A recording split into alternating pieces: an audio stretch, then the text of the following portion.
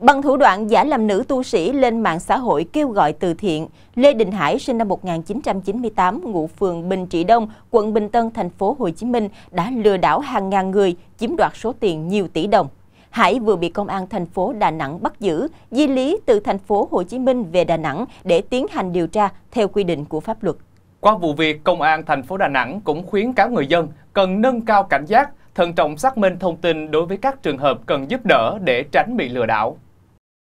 Hải được xác định là nghi phạm tạo các tài khoản mạng xã hội Facebook mạo danh Tỳ Kheo Ni thích nữ Tường Phúc, sinh sống tại Huế, đăng tải hình ảnh những hoàn cảnh ngặt nghèo đang điều trị ở các bệnh viện lớn tại Đà Nẵng để kêu gọi từ thiện nhằm mục đích lừa đảo chiếm đoạt tiền. Công an còn phát hiện Hải cho chạy quảng cáo trên Facebook các bài viết trên để tiếp cận với nhiều người. Rất nhiều nạn nhân tin tưởng chuyển tiền ủng hộ từ 20.000 đồng đến 2 triệu đồng vào nhiều tài khoản khác nhau do Hải sử dụng. Từ đầu năm 2021 cho đến thời điểm bị bắt, Hải đã chiếm đoạt số tiền hàng tỷ đồng của hàng chục ngàn bị hại trên toàn quốc.